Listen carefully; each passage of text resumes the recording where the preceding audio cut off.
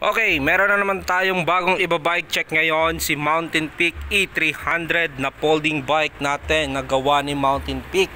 So, ito po siya, isa-isahin natin ang kanyang mga specs, specs by specs. So, titignan natin ang kanyang uh, harapan. So, sa kanyang harapan po is naka Revo ship siya, naka 8 speed na Revo, Revo ship 8 speed po ang kanyang shifter.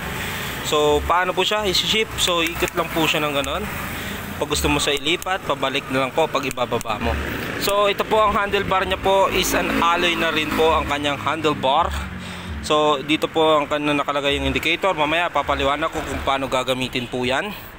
So, dito po sa kanyang quick release na rin po itong sanyang paha-quick sa kanyang handlebar. So, madali po siyang i-adjust ilak. So madali lang po. So sa kanya ano po is hydraulic na rin po yan. Kanyang shifter is Shimano na po. Mapapansin natin nakikita naman natin Shimano po yan. Pagdating naman sa kanyang hydraulic na brakes Shimano ng series pa po.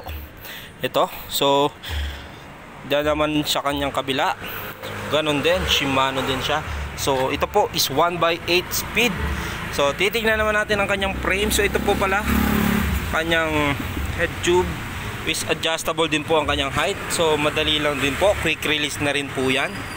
So madali siyang i-adjust pag gusto nyo. Iangat, baba, kung depende po sa height nyo.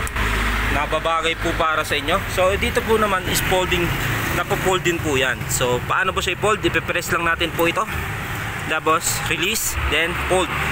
Dito naman sa kanyang harapan so meron po siyang ilaw. So ang ilaw po natin total ito po is electronic 300 na mountain peak. So rechargeable po yan. So ito po may ilaw na po yan. So first click blinker. Steady na uh, slowly na blinker. Meron din naka steady so uh, three option ng ilaw na pwede nyong gamitin. Maliwanag na rin po yan pagdating sa gabi. So dito po sa kanyang port is mountain peak na rin po ang brand. So nakalagay right direction. So dito malalaman kung ang tama po ang kaporma ng port natin na nababagay sa kanya. So meron po tayong kasama na rin po ang kanyang steel na mudguard para po dyan. So dito naman size 20 po ang kanyang rim. Uh, titignan naman natin ang laki o ang labad ng gulong. So size 20 by 1.75 so yun po ang kanyang gulong. So aerobic na rin po ang kanyang rim. Alloy na po yan. So kanya pa namang head tube. So nakalagay po ang kanyang brand na Mountain Peak tsaka yung logo ni Mountain Peak. Ayan na po. So Neko na self bearing na rin po yan. So Neko self bearing. Eto quick release. May kasama na siyang reflectorize. So pwede nyo rin i-remove para may paglagyan kayo ng additional ilaw, busina, pwede mong lagyan. Ganun lang po yun. So titignan naman natin ang kanyang frame. So ang frame natin is medyo makapal. Siguro mga 6, uh, 4 inches. 4 inches by 1.5 sa kanyang top tube. Yan. So design engineered by Mountain Peak ang nakalagay. So dito po sa kanyang baba. So siguro mga 4 inches nga ito. 4 or 5 inches. So ito po ang lagayan ng kanyang battery. So dito po nakalagay ang battery. So dito po quick release. So po same as folding bike. So ganun po yun. Mas madali lang din siyang parehas na parehas po yan sa mga folding bike natin na ginagamit. So dito po naman susi niya. So mamaya papaliwanag ko ulit kung bakit andyan ang susi niya no? nakalagay no? So dito, nakalagay na rin po sa kanyang frame na E300. So dito naman may suporta siya sa kanyang top set tube na medyo may kalakihan din. So pang pwede nating mang rides. So ito po siya, quick release na rin po ang kanyang set tube. Titignan natin kung ano ang kalaki. Uh, 33.9 33.9 siguro kung mabibilan nyo yan ng iba sa mountain peak lang din po pwede ang bumili kasi usually ang standard lang po is natin yung mga mountain bike na mga ano po medyo maiksi so May nakalagay po yan dito. So 33.9 by or L580. So diyan po ang adjustable niya. So ito po pala yung kanyang taillight po is battery operated. So lalagyan lang natin siya ng battery para mas iilaw siya kung kailangan niyo siya sa gabi. Pagdating naman dito sa kanyang likuran, ganon din po ang kanyang gulong. Aerowick din po ang kanyang rim. Ang gulong niya mas 20 by 75 na anong brand? So CST. CST tire po ang kanyang gulong. So maganda na rin po na brand yan para sa stocks na brand natin na Aerowick, ah, na Mountain Peak. Titignan naman natin ang kanyang kag. So ito po is naka thread type pa. So bibilangin natin 1, 2, 3, 4, 6, 7, 8. So 8 speed. 8 speed po siya pero nakatignan naman natin Shimano Altus po ang kanyang RD. So Shimano Altus ang kanyang RD. So okay okay na po yan hydraulic na rin po pala yan so hydraulic na Shimano non-series ang kanyang brake so ito po hindi pa po siya quick release so siguro mga nasa size ano bang size ito siguro mga 18 or 19 mga ganong size po siguro ito pag ni-remove po natin siya So, pag-uusapan naman natin ang regarding sa kanyang electronic. So, bakit siya tinawag na electronic? So, kung mapapansin natin siya, hindi siya yung katulad ng ano natin sa mga elect electric bike natin na pag ano po, pag video pinaikot mo na siya. Ah So, ano po 'yan? Hindi siya tulad ng eh, ano natin na bike na ah, pag naubusan ka ng baterya, pwede mong pa-jack. So, ito po, ang gamit po ng e- e-electronic natin which is support po yan. Support lang po siya. So paano siya naging support? For example uh, gagamitan mo siya ng medyo matigas na pedal paahon ka. O di kaya gusto mong mas mabilis paano mo siya papalambutin so na-adjust po yan dito so dito po ang kanyang controller so controller i-on lang natin to so dito po yung susi niya pala So ito, di susi lang yan sa ilalim. So dalawa po ang kasamang susi niyan, extra saka yung start ng uh, ano niya, susi. So dito titignan natin ang kanyang gamit. So lolong press para umilaw. Mapapansin natin may blinker. So yan, 1 2 3 nagbi-blink. So pag steady siya, so yan po low mid saka high. So meron siyang mode low mid, low mid saka high. So bakit po meron sa niyan? Pag gusto mo lang po yung dahan-dahang support lang niya, ilo-low mo.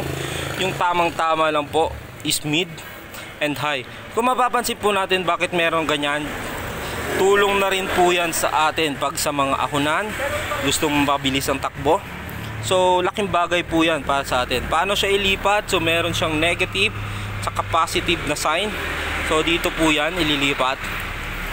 Pag high mapapansin natin. So titignan natin kung paano ang function po nyan oh, kung mapapansin natin nakaship po tayo sa normal. Yan. So mapapansin natin ang tunog nya so kung ang normal po nyan pag pinadjack mo siya nang wala po siyang support which is medyo matigas po yan. Matigas po siya ipadjack medyo matigas siya ipadjack pero pag may motor na po tayo mapapansin natin. Lumalambot ng lumalambot. Habang tumatagal mo siyang pinapadjack lumalambot at lumalambot po yan. So kung ililipat naman natin siya dito so sa number for example ililipat natin siya sa number 8 so yan po yung patigas ng patigas kung sa sa ating mga bike. Pero gawa po ni support napapalambot po yan. So mas bibilis ka po ang gamit niya mas mapapabilis po yan. So alloy na rin po ang kanyang frame na yan.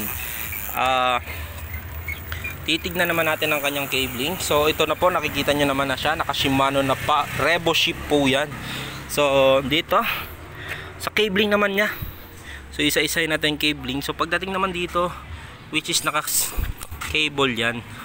Nakaayos. So malinis po siya tignan. Unless dito na lang po yan sa iba. So ito po ito po yung kanyang sa power so titignan natin kung saan dadalo yung kanyang power ito po yung wire nya dadaan po lahat ng wire dito sa ilalim ng kanyang frame yan po so dan tatagos tatagos po yan dito sa kanyang motor So ito po is sensor. Ito yung tumutulong sa atin para mas malambot na padjak. Yan po ang nagiging sensor niya. So self bearing na rin po ito. Self bearing na po yan. Alloy na rin po na pro wheel ang kanyang crank arm. So dito po may kasama sang side stand. Para sa ating mga rider, kailangan din po natin yan. Iwas sandal-sandal. So ayan po, ah, kanyang motor nakalagay Bapang. Bapang ang kanyang brand ng kanyang motor doon sa loob. Kung papapansin natin ang laki. So ang laki ng kanyang motor.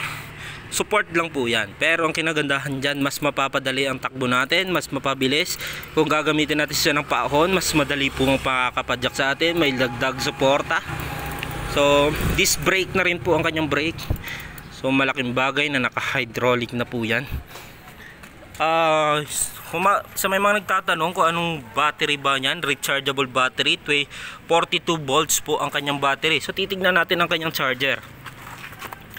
Titignan natin ang kanyang charger. Nandito po sa kanya, nilagay namin sa likod. So switching power supply, modify, model FY4 ganyan, input 110 240. So pwede siya sa mga 110, mga province, sa mga sa ibang bansa kasi 110 lang po ang gamit nila so pwede yan dito 240 220 pwede po 2.5 ampere output po is 42 volts 2 ampere din. So rechargeable po yan. Saan po pala nilalag nilalagay ang charger? So ito po ang kanyang charging socket. Yung male ah female socket. Yan po. Nakalagay po dyan kasi andyan po ang kanyang battery sa loob ng frame na to. So, once again, yan po si Mountain Peak E300 natin. So, electronic 300. So, siya po, ah, hindi siya yung katulad ng mga electronic bike natin na ah, optional siya sa pag ginamit natin. Siya po is ah, assist.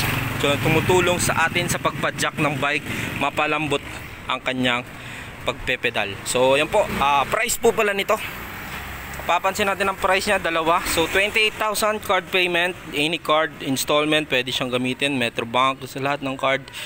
Visa. So, pag cash naman, so may less than 1,000 pag cash. So, 27,000 na lang po yan pag sa card. Ah, sa cash. So, yun po. Home credit available din. Home credit, paano ang price ng home credit natin? 27,000 po ang home credit natin sa ganyan. So, avail nyo lang dito. Saan po ba ito ma-avail? So dito po sa Budget Bikes Cavite Kaya po ang ating signage At dito po Kung mapapansin natin siya So dito siya Kaling Aguinaldo. Tabi po tayo ni Tambunting. O yan Tambunting. Ayan po ang kanyang logo sa labas. May mga naka-display naman. Ayan po yung credit no? So ito po yung mga bikes natin sa labas. Mas marami pa po sa loob. So visit lang po kayo dito. So babalikan natin ang ating bikes. So once again yan po ang ating mountain peak na electronic bike. So thank you